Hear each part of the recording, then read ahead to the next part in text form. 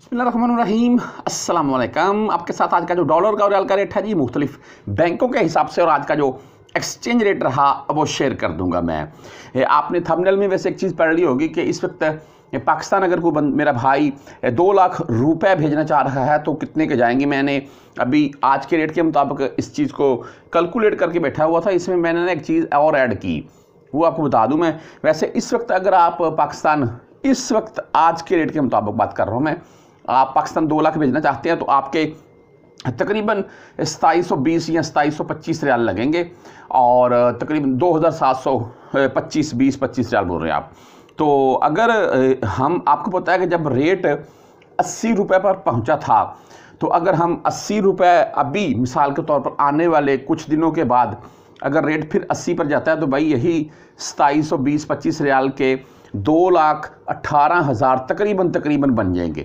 ٹھیک ہے؟ اور آپ اس چیز سے اندازہ کر لیں کہ یہ ستائیس سو ریال کے پیچھے سترہ اٹھارہ ہزار روپے کا ڈیفرنٹ آئے گا۔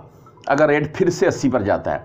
تو اگر کسی پردیسی کے بھائی کے پاس آپ خود ہی پانچ، دس ہزار، بیس ہزار پڑا ہوا ہے، تو کتنے لاکھ بن جائیں گے اس کے؟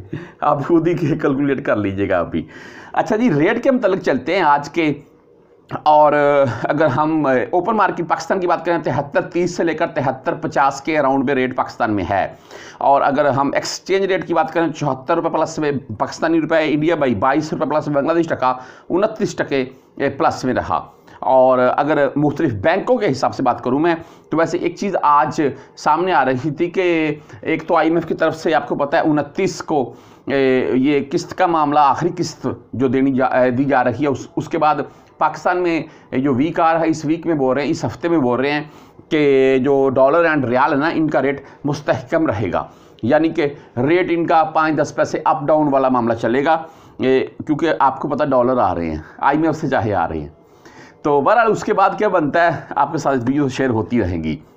اچھا جی اگر مختلف بینکوں کے حساب سے ہم بات کریں تو آج کا منی گرام کا جو ریٹ رہا وہ تہتر روپے بتیس پیسے اور دس سترہ اینڈ تیئیس ریال ان کی فیس ہوتی ہے۔ اگر ٹیلی منی یعنی کہ اے این بی بینک کی ہم بات کریں تو ان کا بھائی آج کا ریٹ تہتر روپے اٹھتیس پیسے اور دس سترہ اینڈ تیئیس ریال فیس کے ساتھ۔ اگر ویسٹرن یونین کے تھرو بھائی آپ بھیجنا چاہتے ہیں تو ویسٹرن یونین کا آج کا ریٹ ہے تہتر روپے اڑتالیس پیسے اور دس سترہ اینڈ تیئیس ریال ان کی بھی فیس ہوتی ہے۔ اگر تحویر راجی راجی بینک کی ہم بات کریں تو بھائی ان کا آج کا تہتر روپے چھتیس پیسے رہا اور دس سترہ اینڈ تیئیس ریال ان کی بھی فیس ہوتی ہے۔ اگر ایس ٹی سی پے کی ہم بات کریں تو ایس ٹی سی پے کا آج کا ریٹ تہتر روپے اٹھائیس پیسے اور دس سترہ اینڈ تیئیس ریال ان کی بھی فیس ہوتی ہے۔ فوری بینک بینک جزیرہ کی اگر بات کریں تو بھائی ان کا آج کا ریٹ تہتر روپے ساٹھ پیسے ہائی ریٹ دے رہا ہے بینک جزیرہ۔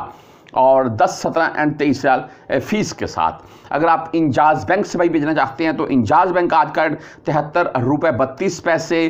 اگر ہم کوئک پے کی بات کریں تو کوئک پے کا آج کا ریٹ بھائی تہتر روپے چالیس پیسے اچھا ریٹ دے رہا ہے کوئک پے بھی۔ اور اگر فرینڈی کے تھرو آپ بھیجنا چاہتے ہیں جو کہ تہتر روپے ستائیس پیسے ریٹ دے رہا ہے فرینڈی۔ اور فیس وہی ہے بھائی دس سترہ اینڈ تیئیس ریال۔ اور مختلف بینک آپ کو پتہ ہے فیس نہیں کاٹ رہے ہیں اس وقت۔